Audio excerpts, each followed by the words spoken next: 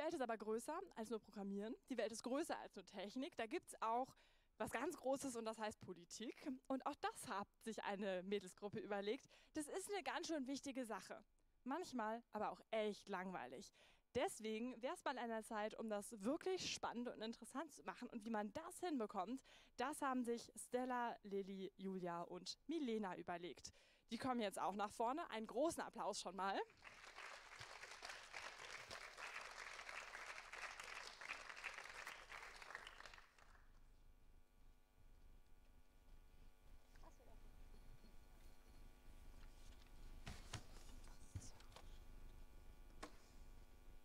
gar nicht an.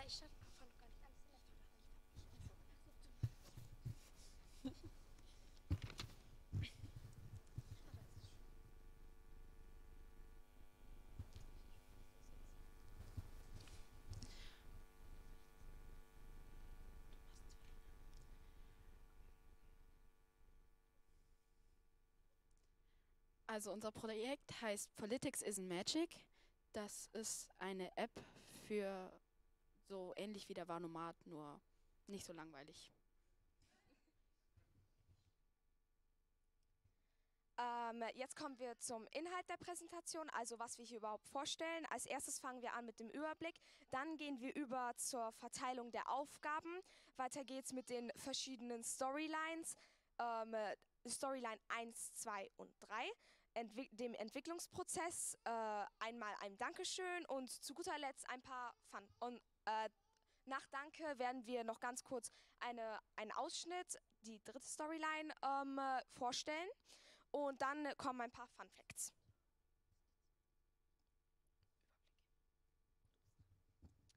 Also, erstmal, was ist Politics isn't Magic? Politics isn't Magic ist ein interaktives VR-Spiel ähm, für Wahlentscheidungen. So, äh, warum? Also, wofür ist das, wo ist, wofür ist es gut?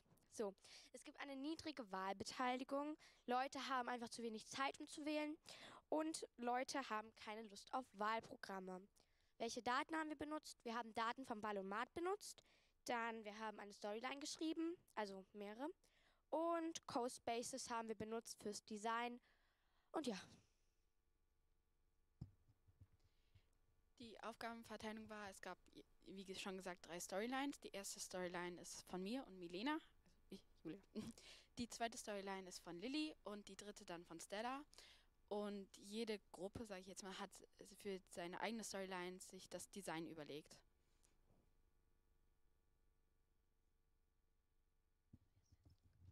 Ähm, wie wir ja schon erwähnt haben, es gibt verschiedene Storylines. Jetzt, warum es äh, verschiedene, drei verschiedene gibt. Jeder Spieler ist individuell und daher hat jeder Spieler auch einen eigenen Geschmack. Und äh, deshalb können sie zwischen drei verschiedenen äh, auswählen. Und in jeder, wie schon erwähnt, in jeder Storyline sind äh, Fragen vom Valomat enthalten und, äh, und sie sind spielerisch eingepackt. Damit es nicht langweilig ist. also Storyline 1. In der Storyline 1 geht es um ein Mädchen, was gemobbt wird, weil sie Anime mag. Eines Tages wird sie dann in ebenso eine ähm, Anime-Welt gezogen und dort entführt. Nun muss sie Fragen beantworten, um zu entkommen. Äh, hier sieht man einmal ein Bild von der Landschaft und wie das Mädchen da halt beleidigt wird. Und hier sieht man den Code, den wir geschrieben haben für damit sich die Leute halt bewegen. Bei mir ist das so, dass ein Mädchen in einen Laptop reingezogen wird, ähm, weil sie ein Virus halt drauf bekommen hat. Und dann wird sie halt in eine Welt reingezogen und muss halt Entscheidungen treffen. Soll sie jetzt ähm, die A oder B wählen, sage ich jetzt mal. Und halt, wenn, wenn, und es, sie kommt halt in verschiedene Welten rein. Wenn sie zum Beispiel A drückt, dann geht sie in diese Welt, aber wenn sie B drückt, kommt sie in eine andere Welt rein. Ähm, ich habe auch hier unten ähm, die, den Code geschrieben.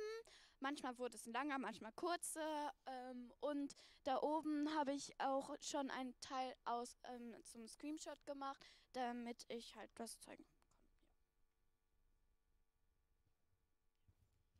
Ähm, jetzt die dritte Storyline, die von mir äh, geschrieben wurde und auch designt wurde. Es geht um eine Roboter-Apokalypse, wo äh, Menschen Roboter erfunden haben, um äh, die sehr hum äh, humanoide Roboter. Und äh, diese denken, sie sind was Besseres und deshalb übernehmen sie die Welt. Und äh, die Menschheit wurde ausgerottet und es gibt nur noch ein paar einzelne Überlebende. Und diese sind versklavt. Ich weiß, hört sich sehr brutal an. Ähm der, der Spieler ist, der, ist einer der letzten überlebenden Menschen. Und dieser muss sich halt mit seinem, äh, mit seinem Roboterfreund, der ein guter Roboter ist, und seinem Roboterhund äh, über, äh, ein kleines Abenteuer und viele Hürden überwinden, um halt zu überleben. Und da sind halt auch die Fragen von Valomat wieder eingebunden. Hier sind auch wieder ein paar Bilder. Einmal äh, eine, äh, die erste Szene im Park. Ähm, warum es Menschen sind, es gab keine Roboter zum Animieren. Deshalb musste ich einfach Menschen benutzen. Ganz schön doof.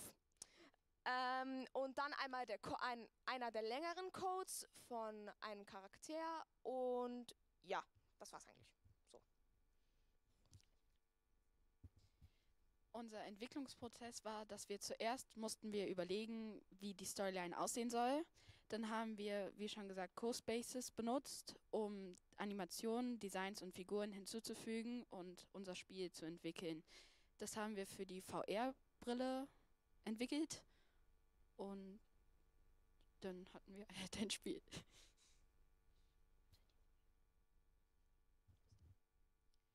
Ein Dankeschön an Claudia und Jasmin, die haben uns sehr geholfen und sehr viele Tipps gegeben. Und ja. Wir sind noch nicht fertig. Wir sind nicht fertig, wir sind nicht fertig. Außerdem, hier ist, die, äh, hier ist einer der gebauten VR-Brillen auf dem schönen Alpaka dort. Ähm, so, jetzt gehen wir mal zurück. Äh, wie kann ich denn jetzt zurück? Warte, Escape. Okay, gut, alles gut. Alles gut. Ja, es funktioniert. okay, also, also hier sieht man, jetzt wird äh, die zweite Storyline, die von Lilly entwickelt wurde, wird jetzt abgespielt. Das ist nur, äh, ich sag jetzt mal, das erste Level. Es ist das erste Level. Und das ist, ja, das ist das Vorspiel auf jeden Fall. Okay, ja. Muss ich was dazu sagen oder könnt ihr das alle lesen? Also da steht, dass sie ein Virus auf den Laptop gedrückt hat und dann hat die halt den falschen Topf gedrückt und dann fragt die sich, was passiert hier. Und jetzt wird die halt in den Laptop reingezogen.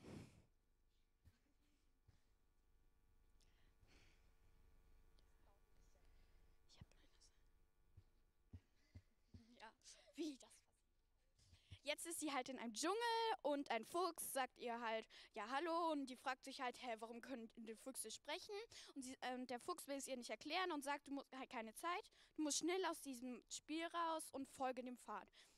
Äh, sie will aber, dass der Fuchs es ihr erklärt und dann sagt der Fuchs, nein, ich muss los und sagt dann einfach Tschüss. Beste Freund. Super, bitte.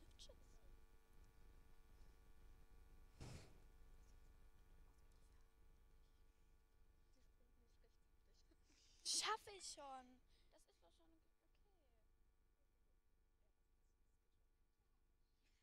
Jetzt hat sie es halt geschafft und das erste Hindernis übergeben. Das ist halt Level 1. Hier hinten ist halt die Truhe und jetzt kommt die erste Frage. Sollten 16-Jährige schon wählen dürfen? Und dafür also wir fragen jetzt mal das Publikum, was würden Sie wählen? Würden Sie sagen, ich stimme zu oder ich stimme nicht zu? melden. Wer ist für ich stimme zu? Das sieht eindeutig für die Mehrheit aus. okay, gut. Jetzt ist sie in einer Zwischenwelt und das ist voll cool. Ähm, und die, da sieht sie auch schon die nächste Frage, die da kommt. Und sollte es mehr Platz für Flüchtlinge geben? Also einmal aufzeigen, äh, wer ist für stimmt oder ich stimme zu. Das sieht auch wieder wie die Mehrheit aus.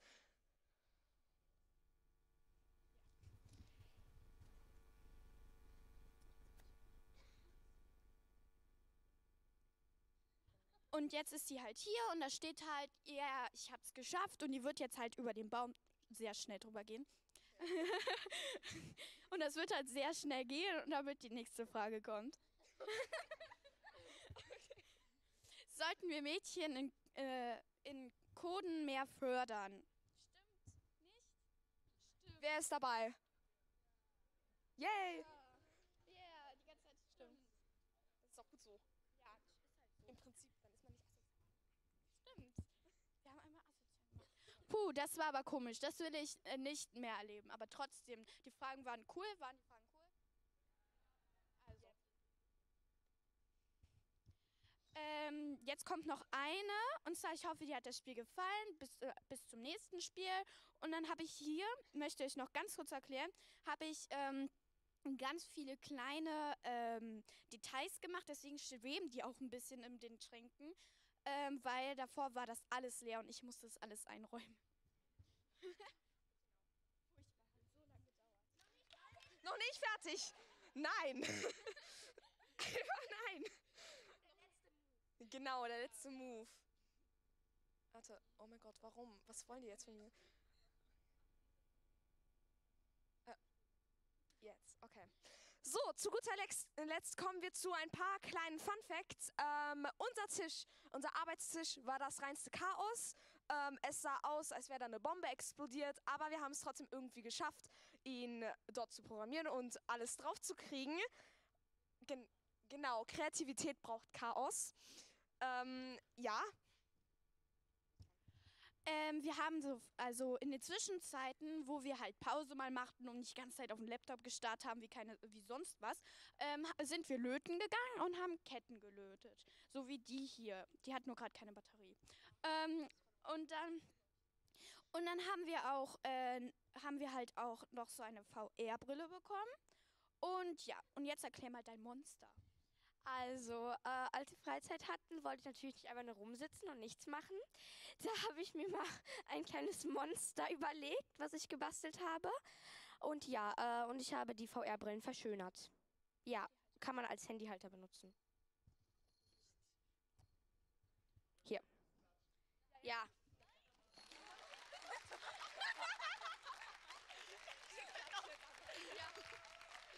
Sag noch, sag noch einmal ja. Und wie schon erwähnt, waren wir auch bei den Supercomputern. Da sieht man oben rechts einen kleinen Ausschnitt, so sahen die aus. Ziemlich komische Kästen. Das ist ein Computer. Jetzt ist Ende.